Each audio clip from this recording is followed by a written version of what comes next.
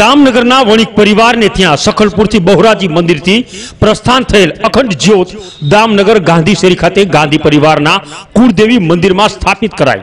અખંડ જ્યોત બહુચરાજી માતા સખલપુર મંદિરથી દામનગર શહેરમાં પધારતા દર્શનાર્થીઓમાં ખુશખુશાળ અખંડ જ્યોત આવતા એક ભવ્ય સામૈયા સાથે માતાજીની જ્યોતનું ભવ્ય સ્વાગત કરાયું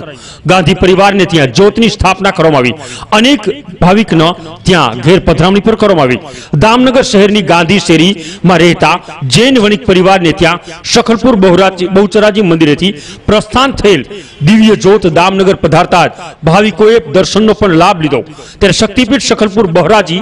મંદિરથી દિવ્ય જ્યોતને દામનગર શહેર શહેરમાં વણિક ગાંધી પરિવારના કુળદેવી શ્રી બહુચરાજી મંદિર માટે આશીર્વાદ રૂપ મળતા ગદગદિત ગાંધી પરિવારમાં કહી શકાય કે એક અનેરો ઉત્સાહ સાથે અખંડ દિવ્ય જ્યોતની સ્થાપના પણ કરવામાં આવી